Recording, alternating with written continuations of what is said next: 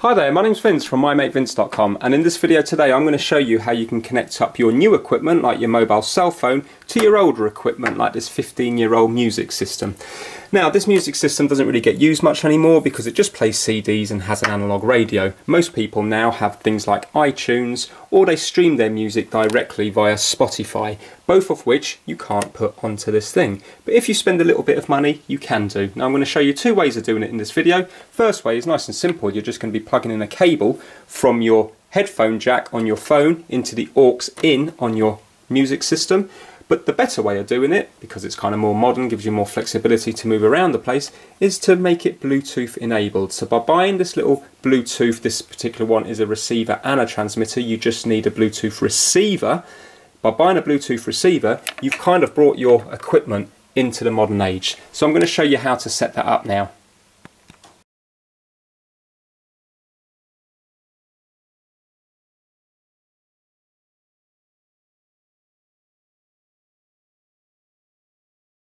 Okay, so first of all I'm going to be showing you the wire technique because it's so easy, but you might not be able to do the wire technique if, for example, you've got the latest iPhone. But here, this phone here has a 3.5mm jack, and on my stereo it has a 3.5mm aux in. So all we're going to be doing is plugging the 3.5mm cable into this end here, now this is a 10 meter cable but obviously you might only need a 1 or a 2 meter cable. The limitation is that you've got to constantly have your phone plugged into it. While if you go for the Bluetooth technique, which I'm going to show you afterwards, then it's nice and easy because you can bring this around the place and uh, distance wise it works well up to about 7-8 meters away. So have a look at your equipment. If you have a look at the back of this one, it actually has an aux in. So here I've got an aux in so I'm going to be plugging the other end of my 3.5 millimeter lead into there like so. If you don't have a 3.5 millimeter in, but you have a twin phono in, then it's fine because all you've got to do is get a little adapter like this and plug it in there like so and then you end up with a twin phono left and right or you might know it as an RCA. If you know that you've got twin phonos then just get yourself a twin phono to a 3.5 milliliter lead and then it saves you plugging in adapters. These leads are all available really cheaply from Amazon and eBay. So you plug that into there like so and now we need to tell the stereo that we want it on the aux input because remember it doesn't know where the music's coming from whether it wants to play the CD or the aux input. So have a look at your remote control and you should see a button that says input or source or this one here says aux MD stroke aux. So I'm going to press that there and now whatever it hears on its aux in it will play out in the speakers. So right now I'm just going to press play on Spotify here. And if you have a listen now it's coming out the speakers here and you can control the volume and stuff from here.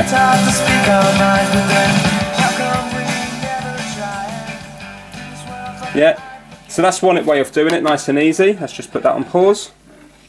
If you recognise that song, that means you were probably a skateboarder from the 90s. Right, okay, now, the better way of doing it, I think, is via Bluetooth. Okay, so the Bluetooth method is also quite straightforward. What you'll have to do is you have to get yourself a Bluetooth receiver, not a transmitter. It has to be a receiver because remember, it is receiving the signal from the phone and then putting it into your stereo. So make sure you don't make the mistake of getting a transmitter. Get a receiver. This one here is a transmitter and a receiver depending on where I put the little switch over here. So over this side it transmits and over this side it receives.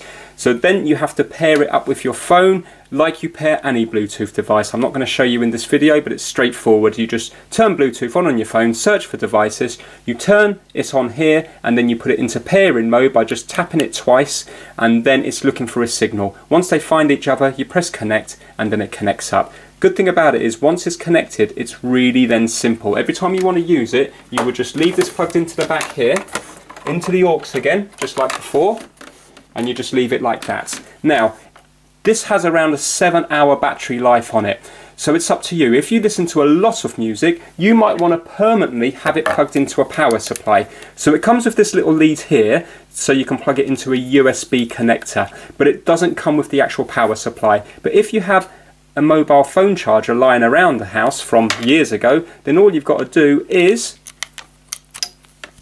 plug it into a supply like that and then to charge it you just plug the micro USB into the other side and you can leave that plugged in. It will play and charge at the same time. So with me, because I don't listen to music on this very often, I'm just going to leave it and every time it needs charging I'm going to plug it in. But if you were to listen to music every day, then that seven hours will quickly run out. So then you're going to probably leave it just plugged in all the time. You're not going to do it any harm by just leaving it plugged in all the time. So anyway, right now I've got my Bluetooth turned on on my phone.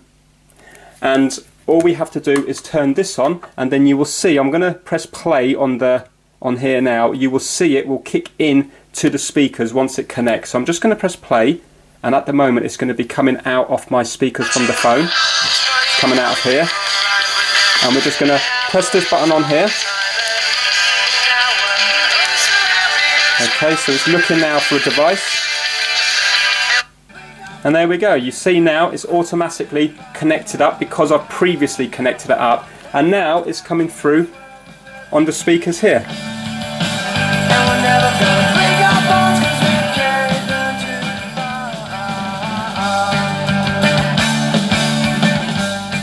Now obviously to control it you won't be able to press stop on here, it's not going to make a difference. The only thing you can do is the volume here.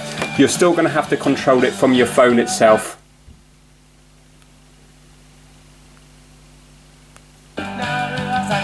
But at least now you can bring the phone around the house. So let me show you the sort of distance it will work.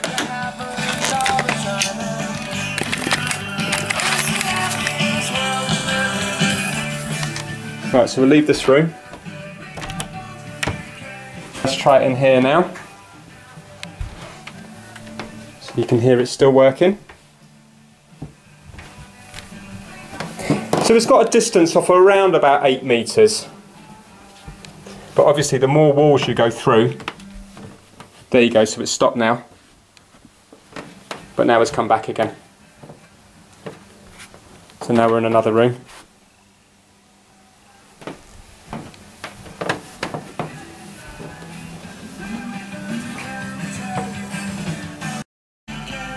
And then when you're finished with it, it's really easy. All you need to do is turn it off here and it will start working through the phone again. So then when you press play here, it's coming back through the phone. And if you decide you want it black on the Bluetooth again, you just turn it back on.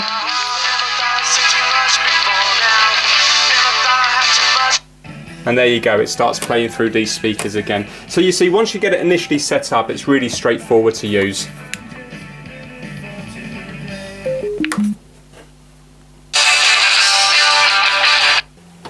Okay, so that's how you connect up your new equipment to your older equipment for the sake of spending this one here was just over 20 UK pounds so it's a well worth investment and it saves you having to throw out your old hi-fi once you move your music over to something like Spotify and iTunes. Okay hope you liked the video please give it a thumbs up if it's helped you out and please subscribe for more how-to videos. Take care bye now.